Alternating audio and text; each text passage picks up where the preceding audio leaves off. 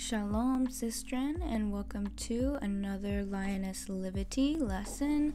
Today, we are continuing on with um, deepening our understanding of the spirit of wisdom, which proceeds from the Most High Yah. And within this lesson today, we will be delving into how to obtain wisdom, how to acquire wisdom, how to become wise in the Most High and in His truth.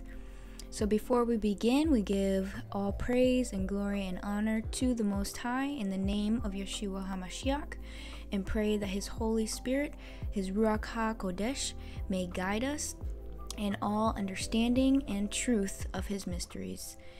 And that through this lesson we might be edified in His Spirit to go forth and to serve Him more fully according to His will.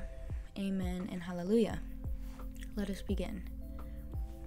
So we will be starting by looking at Colossians chapter 2 and we'll be reading verses 1 through 10. So we're starting in the book of Colossians chapter 2 and we're reading verses 1 through 10.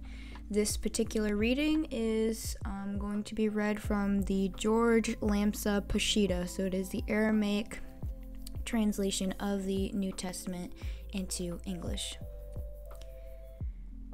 I would that you knew how I struggled for your sakes, and for the sakes of those who are at Laodicea, and for the rest who have not seen me personally, that their hearts may be comforted, and that they may be brought near by love to all the riches of the full assurance of understanding, of the knowledge of the mystery of Yah the Father, and of Christ or Hamashiach, in whom are hidden all the treasures of wisdom and knowledge.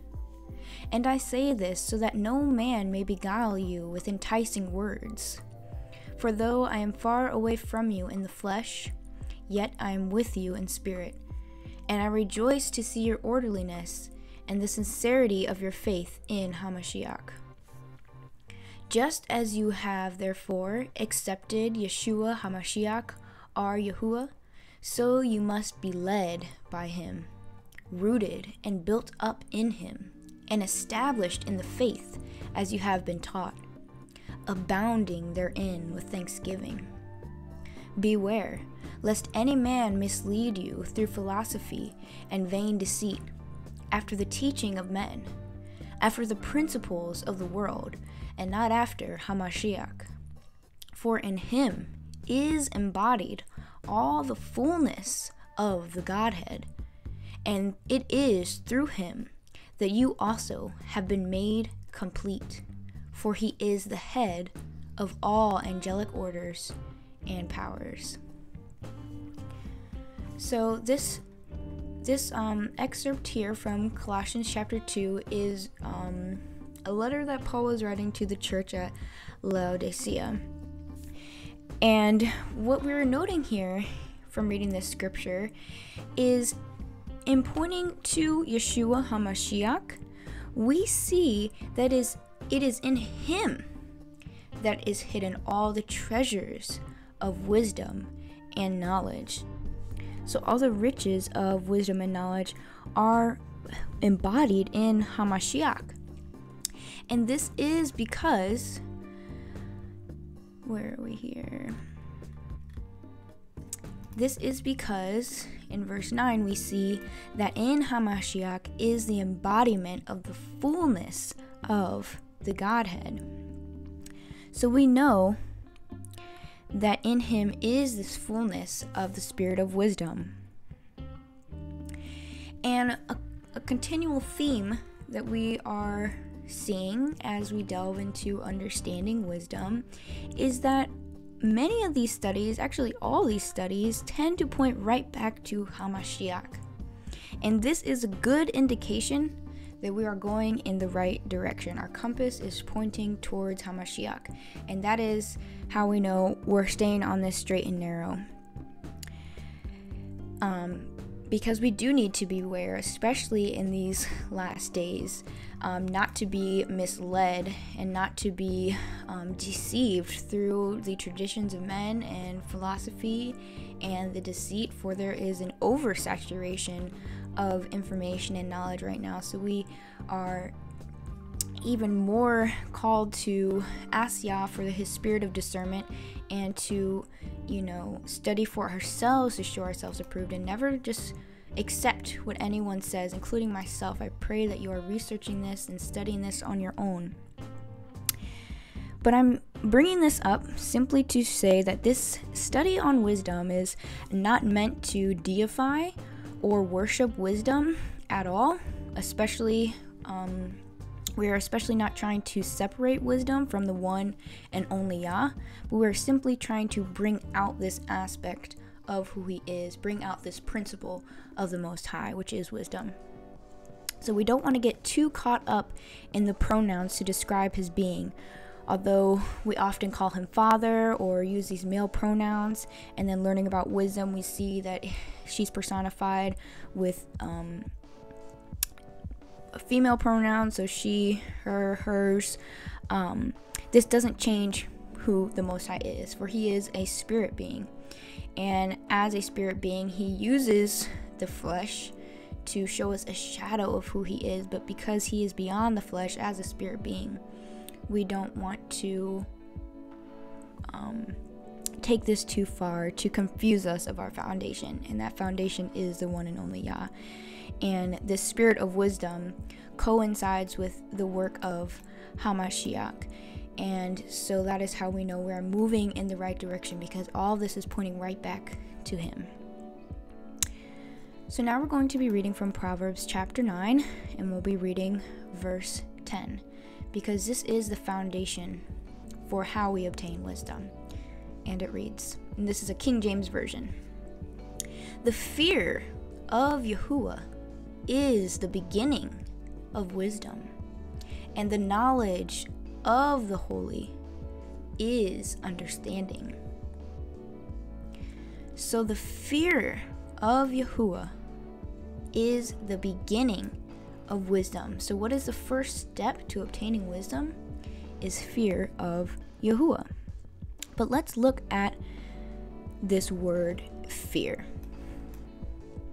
So in the Strong's Concordance here, it is H3374. And I've got this open here, H33. Oh, it should be 3374. Okay. Here we are. So here we are, H3374, Yirah. It is a feminine noun and the definition, or it's translated to fear, exceedingly dreadful fearfulness, awesome or terrifying thing, fear of Yah, respect, reverence, piety, revered. So this word fear is really to revere. Um, and as the Most High, the creator of heaven and earth, whose glory exceeds that of the heavens, um, we should fear him. For even the mountains melt when he moves, and the earth shakes when he moves, and we have not seen the fullness of the display of his power, but we know his potential. And that is a fearful thing, but not fearful as unapproachable because you are afraid, but a fear and reverence, knowing of his holiness and righteousness and might. And so the root word for Yirah is Yare. Okay, so this is an adjective to, so this is describing something. Fearing, reverent again. Okay, and then the primitive root for both of these words, um, fear, is Yare and this is a verb, so this is the action. Um,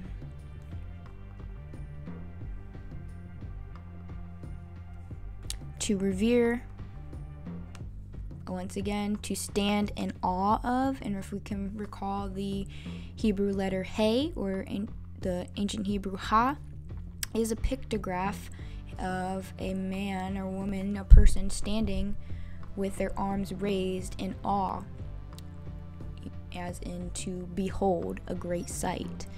So, reverence, honor, respect in the same way you revere and honor and respect your elders.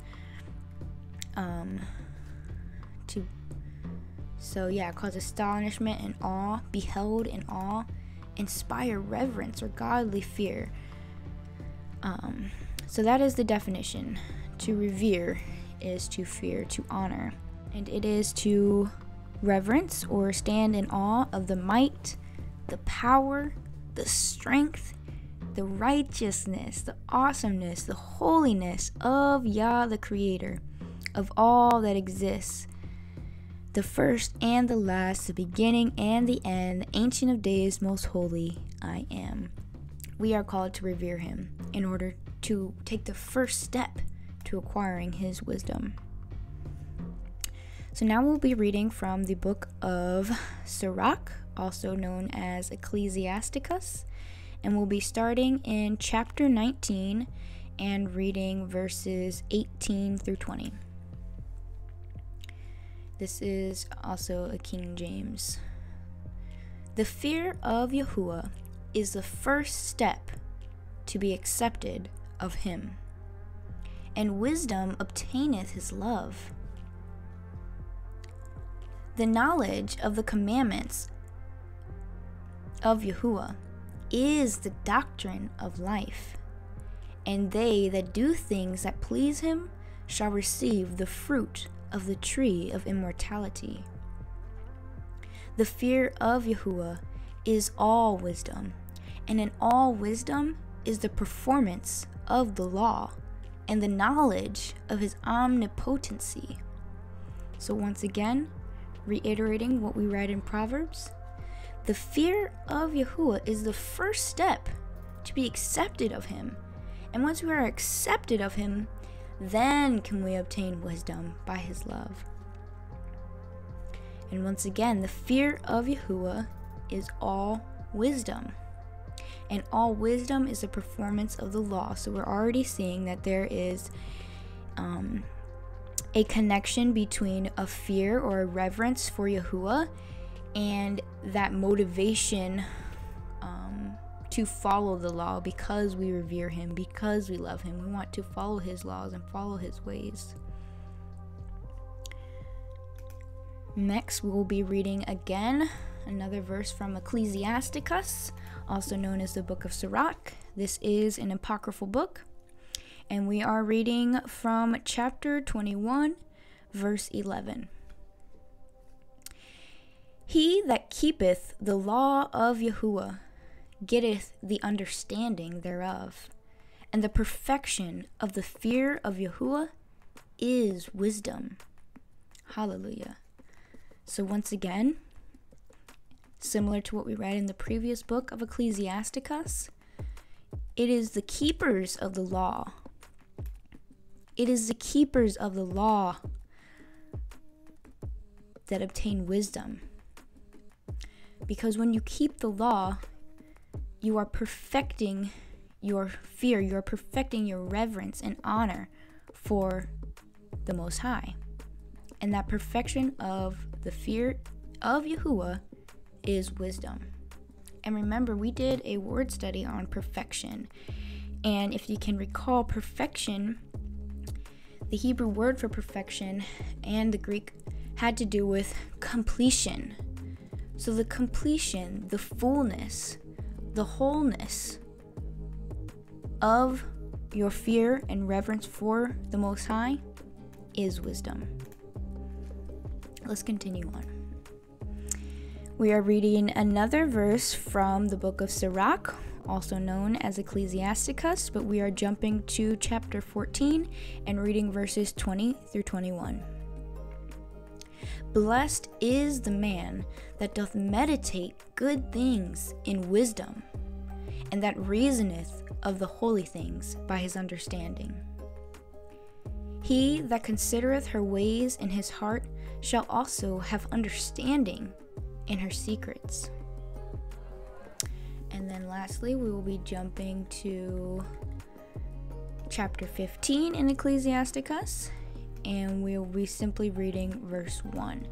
And we read that verse from chapter 14 just to give you a context as to what's being referred to in chapter 15 of Ecclesiasticus here. So the subject is wisdom. The subject is wisdom, as we read in the previous chapter. And then chapter 15 and verse 1 says, He that feareth Yahuwah will do good, and he that hath the knowledge of the law shall obtain her. So we know her based on the subject of the previous chapter, which is continuing on in this chapter, is that her is referring to wisdom, the subject of these two chapters. And once again, we see this same theme that the fear, the reverence, the honor for the Most High, and the following of the law, right? Which go- goes along with knowing the law, but to know and to do the law shall obtain wisdom. So we see here the first step towards obtaining wisdom is fearing Yahuwah. And our fear and reverence and respect for the Most High and His love for us is to follow His law, to follow His commandments, to follow His statutes. Now, we're going to be reading from Psalms chapter 110, verse 10. Oops, excuse me. We'll be reading from Psalms chapter 111, verse 10. And it reads this is a King James Version. The fear of Yahuwah is the beginning of wisdom. A good understanding have all they that do his commandments. His praise endureth forever. Hallelujah. So, once again, the fear of Yahuwah is the beginning of wisdom. These are all pointing right back to the first or second verse we read Proverbs 9 and 10. The fear of Yahuwah is the beginning of wisdom. And we also see that when you have this understanding of wisdom and of the fear of Yahuwah, that you do his commandments, you follow his law. We will now be looking at the wisdom of Solomon. We are in chapter 9 and we'll be reading verses 8 to 13. So we'll be starting at verse 8.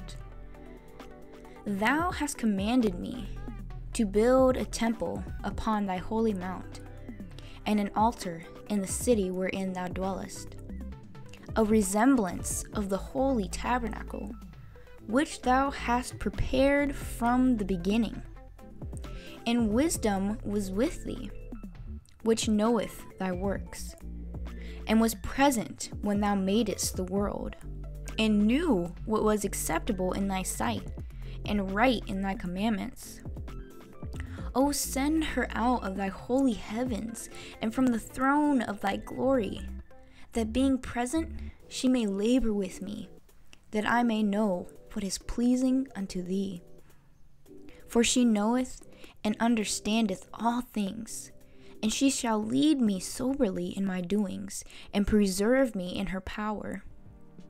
So shall my works be acceptable, and then shall I judge thy people righteously, and be worthy to sit in my Father's seat. For what man is he that can know the counsel of Yah? Or who can think what the will of Yahuwah is? Mm, hallelujah. So, this is coming from the perspective of Solomon, the son of David. And Solomon was the one who constructed the temple, the first temple um, for the Most High. The um, many of the articles for the construction of the temple were acquired by David before Solomon's time. But the temple was not built until Solomon's reign. And so this is a holy endeavor to be building a temple and a holy tab uh, holy tabernacle, permanent tabernacle for the most high. And it the temple was built to resemble the same pattern of the Holy Tabernacle, which we have gone over before. So, this pattern of the Holy Tabernacle again is being used to build the temple, and this is a pattern which has been prepared since the beginning. This is the blueprint or archetype pattern for all creation. And we see once again that wisdom was with the Most High in the beginning, and we know her habitation is with the Most High. So, from this verse, we can see that wisdom resides with the Most High in heaven on the throne of His glory, and that through the fear and obedience of the Most High and His commands, that Yah sends her forth from His throne to labor with us and to instruct us in the will and the counsel of the Most High. For in this last verse, we see that alone, oops, excuse me, we cannot know the will and the counsel of the Most High, but we need the Holy Spirit of wisdom to instruct us and guide us. Now, we will be reading from another verse from Wisdom of Solomon, but we're jumping backwards to chapter 8 and reading verses 18 through 21. And great pleasure it is to have her friendship, and in the works of her hands are infinite riches, and in the exercise of conference with her, prudence, and in talking with her, a good report. I went about seeking how to take her to me, for I was a woody child and had a good spirit. Yeah, rather, being good, I came into a body undefiled. Nevertheless, when I perceived that I could not otherwise obtain her, except Yah gave me her, and that was a point of wisdom also, to know whose gift she was, I prayed unto Yahuwah and besought him, and with my whole heart I said, and if you'd like to continue reading the prayer that Solomon um, spoke unto the Most High, supplicating for his wisdom, you can continue reading on Solomon chapter 8 and into chapter 9. But we're not doing this today. We're pulling out these scriptures um, from Wisdom of Solomon chapter 9 and then also from chapter 8 to know that wisdom is granted directly from the hand of the Most High. So we saw in chapter 9 that her habitation is with the Most High, um, and that she must be sent out by the Most High. And we see that again in chapter 8. That Solomon could not otherwise obtain wisdom. So the wisest man, Solomon, right? He could not obtain wisdom except Yah give it to him. And this is the same for us seeking to know the wisdom and truth of the Most High, that it is a gift from Him and it is a point of wisdom. It is wisdom simply to know that this is a gift of the Most High, and that through prayer and supplication, through the fear of the Most High and the following of His commandments, shall we obtain her. If Yah chooses us worthy to grant it. So we know that wisdom is a gift that is granted directly from the hand of the Most High. And who is it that sits at the right hand of the Most High? Hamashiach. Hamashiach is said to sit upon the right hand of the throne of the Most High until his enemies are made his footstool. I believe we have that put up here. Yes. Yahuwah says to my Yahuwah, Sit at my right hand until I make your enemies a footstool for your feet. Yahuwah will extend your mighty scepter from Zion. You will rule in the midst of your enemies. Your troops will be willing on your day of battle. So we know that it is Hamashiach, exalted at the right hand of the Most High and it is from the hand of the Most High that wisdom is granted. So, once again, this is all going back to Colossians, just as we, or to Christ. This is all going back to Hamashiach, just as we read in Colossians chapter 2. For it is in Hamashiach that all the treasures of wisdom and knowledge are hidden. For in him is the embodiment of the fullness of the Godhead. Hallelujah.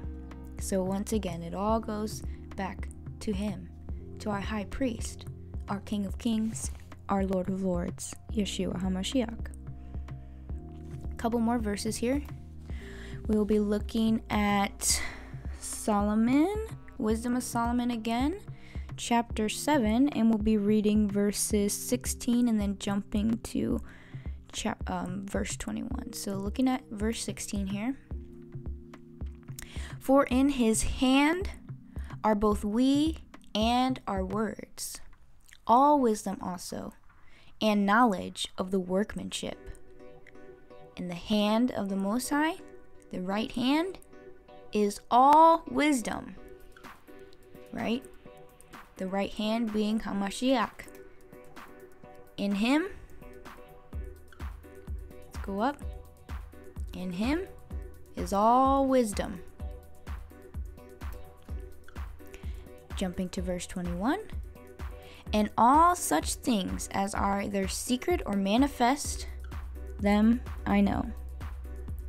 So the spirit of wisdom that is granted from the hand of Yah is poured out or gifted unto holy men and women who have prophesied of the word of Yah.